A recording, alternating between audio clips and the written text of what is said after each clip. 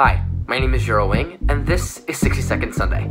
Today's special guest is Venugopal Chillal from California FBLA. Time's ticking, so let's get started.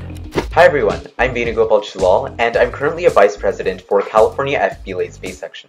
Today I have three tips to help you with your prejudged presentations.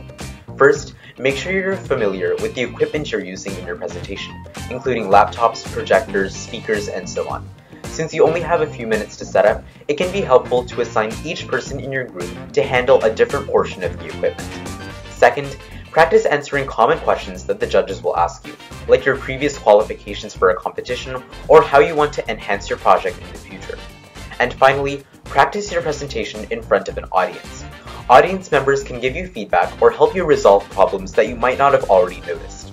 So I hope this helps you out, and I wish you all best of luck in your upcoming state conference.